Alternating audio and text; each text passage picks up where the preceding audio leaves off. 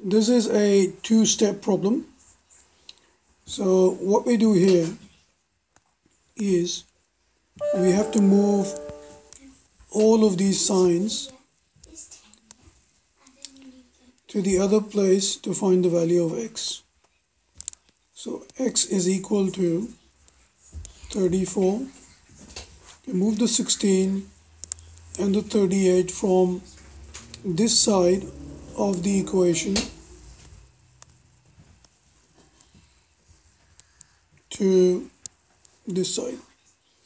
The plus will become minus and the minus will become plus. Now the equation is easier to solve. So we do 34 less 16 and we get 18 so this part will give us 18 add 38 so 18 plus 38 8 and 8 is 16 should give us the value of x as 15 so the equation is 56 minus 38 plus 16 should result in 34